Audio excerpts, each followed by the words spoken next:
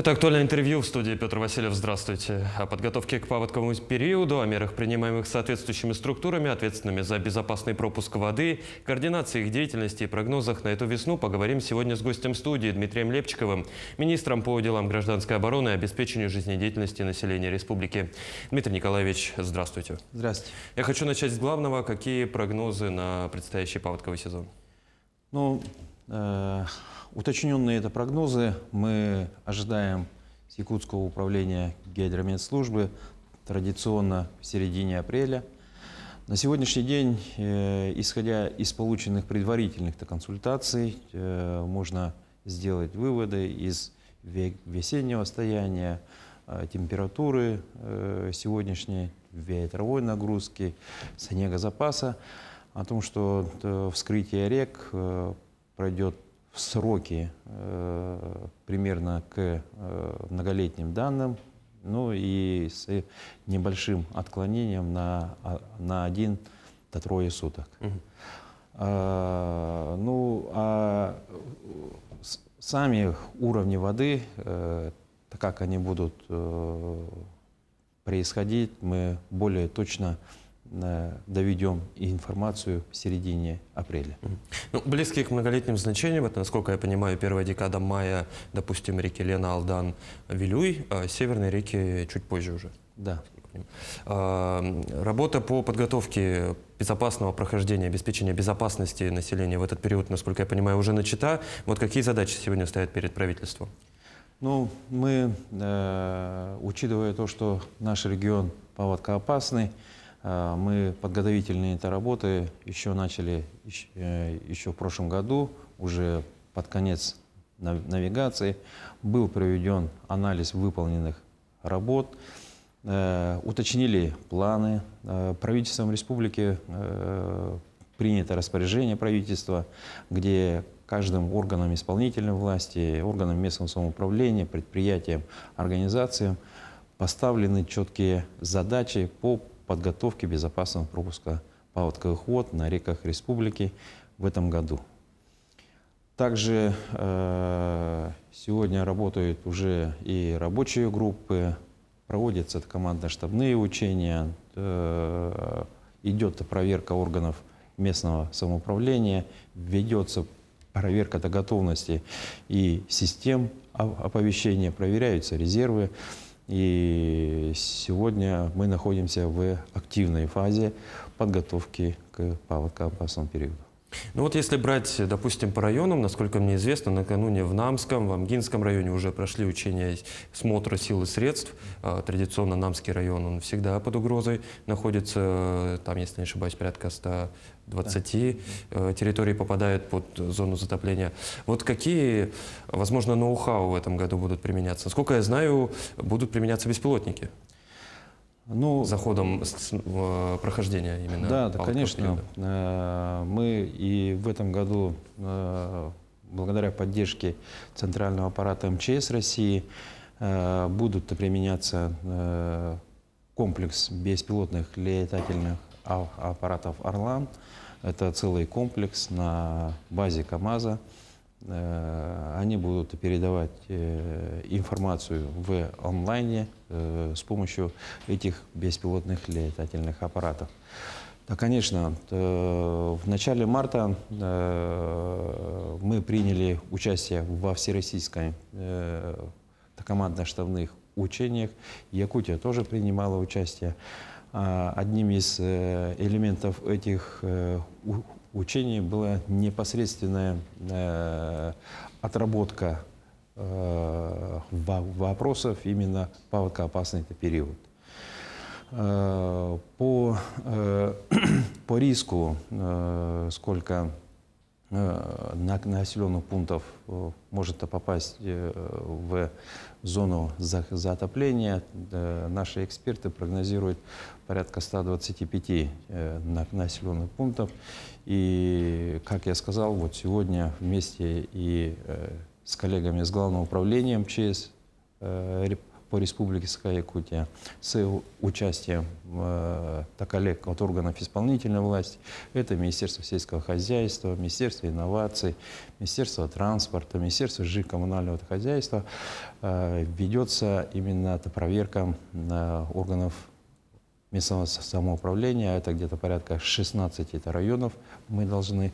И в каждом районе проверить те населенные пункты, готовность тех населенных пунктов к паводку. Ну, насколько я понимаю, места для эвакопунктов тоже определены, и в том числе и места для отгона лошадей и скота. Да. А, спланирована а, подготовка а, пункта временного размещения при необходимости развернуть порядка 267 единиц таких пунктов э, с общей вместимостью более 16 тысяч человек. Сегодня это коллеги из э, Министерства сельского хозяйства уже проверяют э, пункты отгона скота, ну и размещение лошадей, проверяют резервы, чтобы данные пункты были обеспечены комикормами, э, водой, ну и всем-то необходимым, то, которые могут понадобиться в период ледохода. Дмитрий Николаевич, ну, в общем, фронт работ уже проведен большой и предстоит еще больше. А в целом, если говорить о методах подготовки к прохождению паводкового сезона, вот какой вид работ э, наиболее, так скажем, эффективным? Насколько я знаю, в Ленском районе там э, часто возникают заторы, там зачерняли раньше снег, проводили распил. Вот, можно ли использовать эти меры, используются ли они сейчас и что наиболее эффективно? Ну, э, э, Э, эффект даст э, выполнение всего-то комплекса мероприятий. Одна, э, один из элементов этих комплексных мероприятий, это, вы правильно сказали, это превентивные работы по ослаблению прочности льда путем зачернения и, и его распиловки. Основными э, заказчиками это и по линии э, Ленского бассейного водного управления, это на основных реках, на реках э, Лена и Колыма, а также на малых э, реках по линии наших коллег э, с Министерства экологии. Все конкурсные торги уже прошли. В Ленском районе уже данные э, работы уже начаты, и мы должны э, их завершить к 1-5 мая, э, в том числе э, и, и на реке Колыма. Дмитрий Николаевич, а как обстановка на севере республики? Какая подготовка ведется там? Потому что бытует мнение, что северные реки, они более непредсказуемы, чем реки Центральной и Южной Якутии. Э, мы не разделяем, э, мы должны быть готовыми и не только в центральной Якутии, э, но и в арктических районах. Там же тоже также проводятся это проверки это готовности органов местного самоуправления, проверяются резервы, готовность и исправность систем оповещения. А, мы будем -то создавать э, резерв э, взрывчатых материалов, и на северные реки э, мы спланировали также переброску, как и в предыдущие это года, взрывчатые это материалы. В этом году у нас будут также работать две взрывные бригады вместе с нашими спасателями, с, со спасателями службы спасения. Дмитрий Николаевич, а в целом можно ли предугадать то, как будет проходить паводкоопасный сезон? Ну, ну конечно, предугадать э, сложно, на каком участке, как он будет э, проходить. У нас, например, мы возьмем на контроль 56 участков заторообразования, оперативные службы, оперативные группы будут за этим следить. Традиционно э, у нас будут созданы оперативные группы по рекам э, республики, это их будет 9.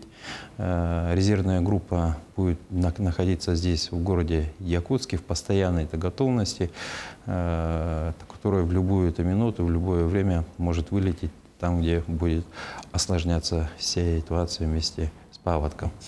Но, э, как я сказал же, также и по э, рекам вместе э, с органами местного самоуправления мы будем отслеживать паводковую ситуацию. Дмитрий Николаевич, давайте напомним жителям нашей республики, что самое главное в период прохождения паводка, как себя вести, чтобы ну, не было печальных последствий. Мы э, с нашими коллегами, такими, э, с органов исполнительной власти, органов местного самоуправления, комиссией по чрезвычайным ситуациям поставлена за, задача о постоянном информировании складывающейся обстановки. Э, хотел бы, пользуясь случаем, рекомендовать для наших жителей, если э, ваш населенный пункт находится в зоне Э, в зоне риска или в зоне затопления, посмотреть э, документы заранее, отогнать скот. Э, хотел бы попросить, чтобы обратили внимание на маломобильное население при необходимости их заранее эвакуировать в те места и рекомендованные органами местного самоуправления. Угу. Ну и, безусловно, ни в коем случае не выходить на лед в период э, активного, так скажем, таяния и снега и льда.